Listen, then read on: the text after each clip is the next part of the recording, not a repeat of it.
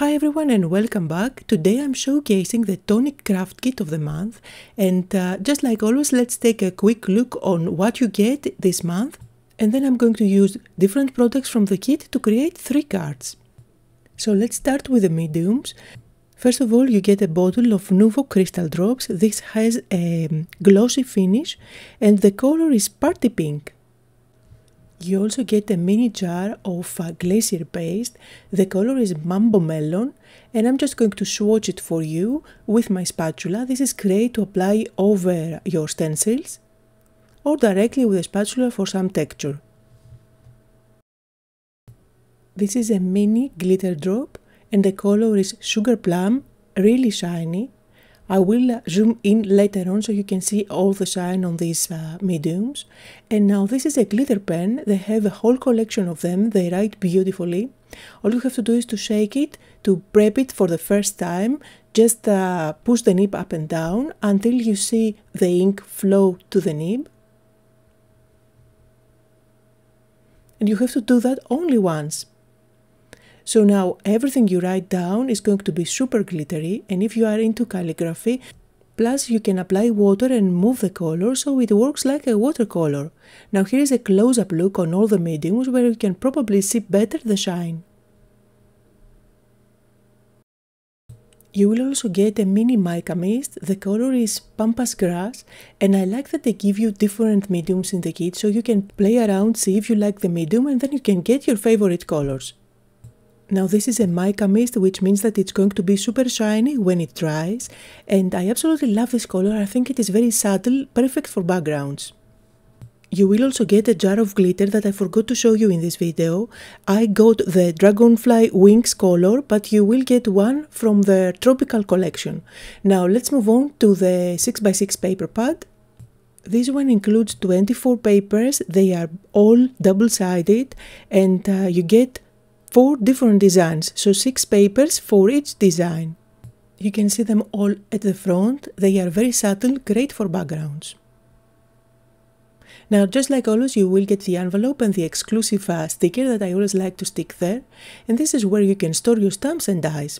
Now, let's take a look at the stamp set this month. You get three different uh, sentiments and a couple of leaves.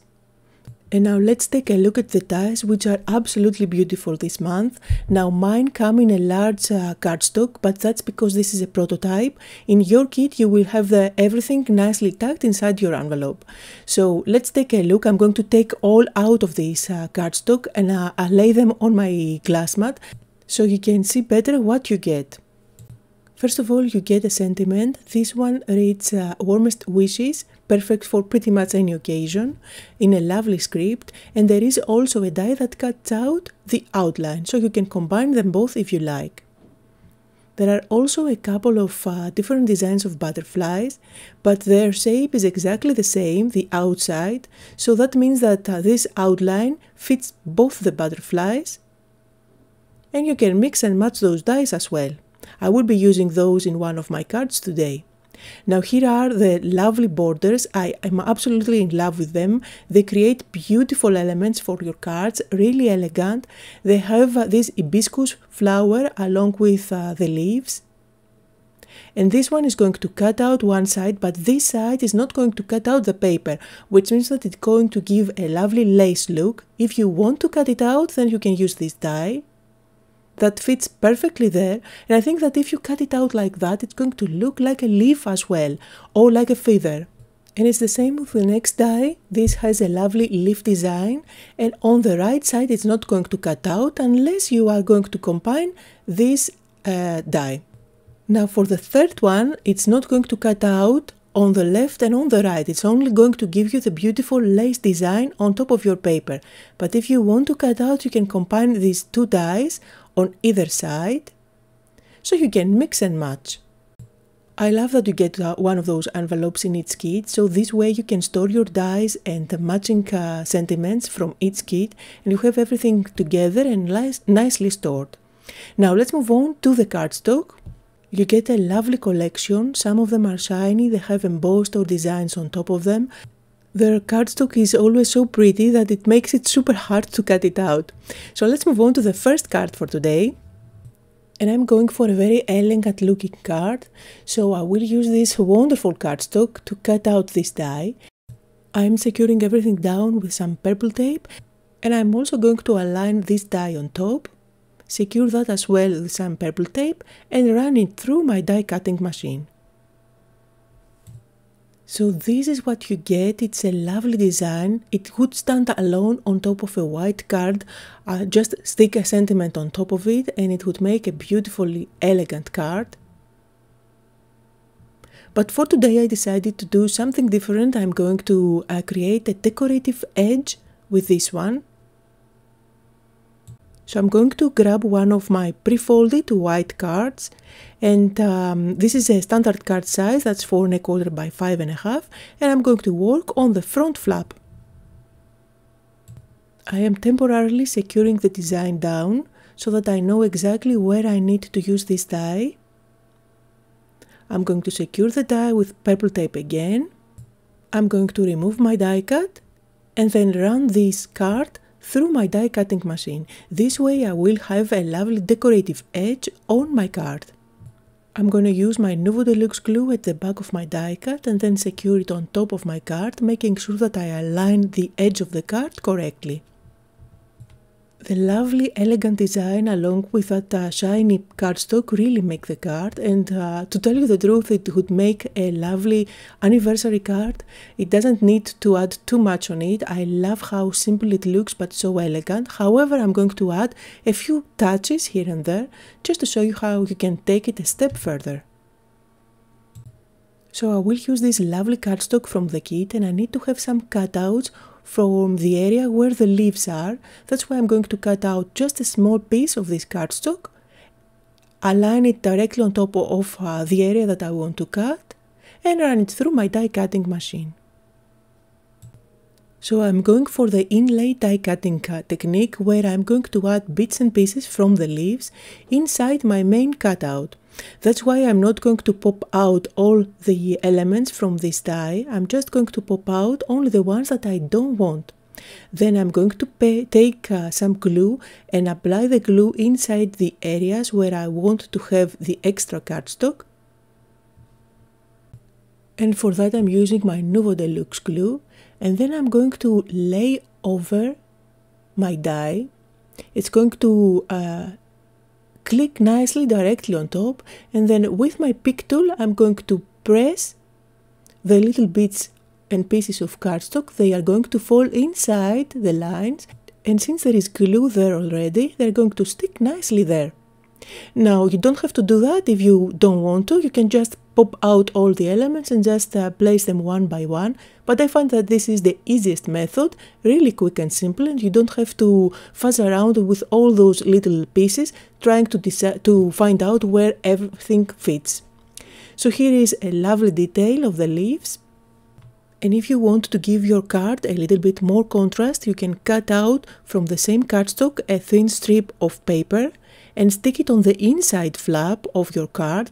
This way you will be able to see this color from the front, but you still get enough blank area on the inside where you can write your message. I'm just going to use my scissors here to chop off any excess paper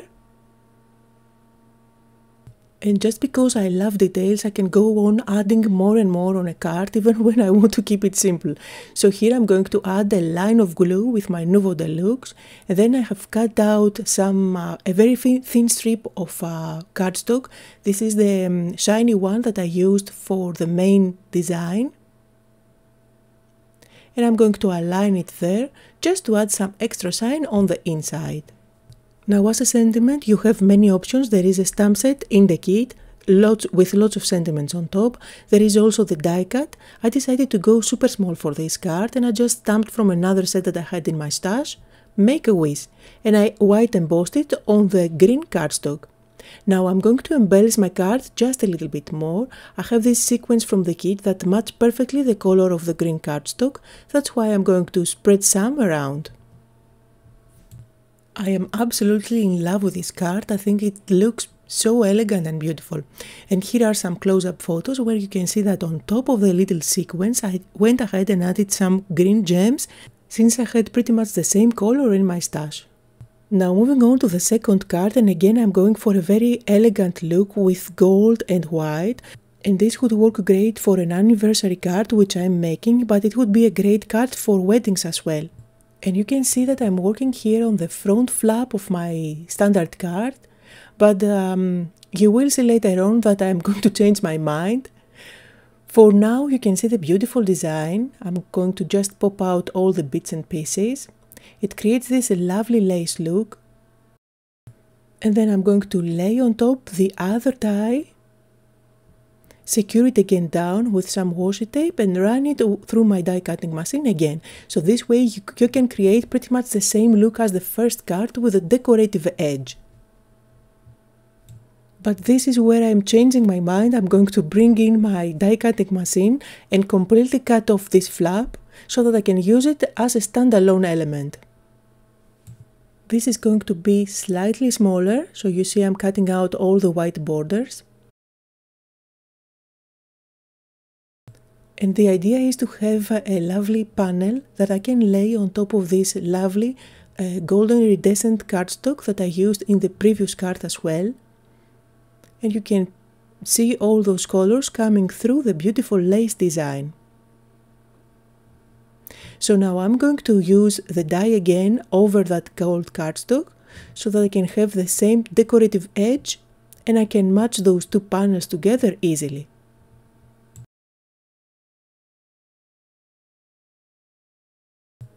Now I have both my panels ready. I'm going to use my white Nuvo Deluxe glue at the back and stick one on top of the other. I'm not going to bother adding a glue on all the details at the back of this lovely design, just some dots here and there will do. Also notice that the gold cardstock is slightly bigger than my white panel, so it leaves a border all around. I just love to see the shine, however this border was quite big, so you can see here it's slightly smaller just because I used my paper trimmer to cut out a thin strip all around. Now I'm going to stamp the sentiment and again you can use a sentiment from the kit, there are plenty of them. You can also use um, uh, the die cut. However, I was going for an anniversary card, so I just uh, looked through my stash and I'm using Happy Anniversary as my sentiment for this, directly stamping on my card base here. I used foam tape at the back of my panel, placed it directly on top of my card base and completed the sentiment with the word anniversary. So here is the lovely card. I absolutely love how this shines through. And here are some close-up photos.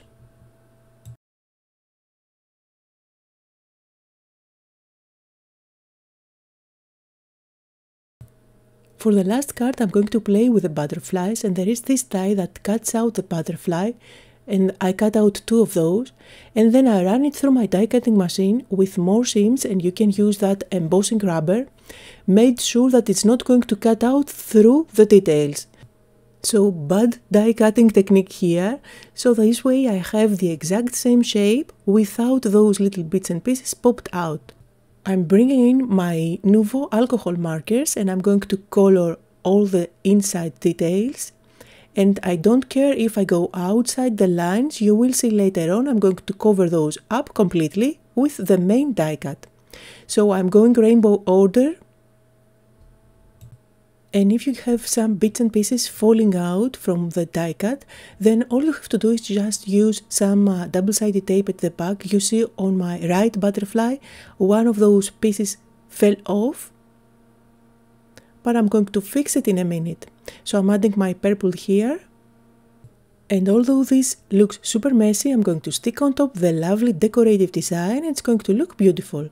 So let me fix that uh, little bottom there where I have that piece missing. I'm going to place it inside and stick it at the back with some double-sided tape.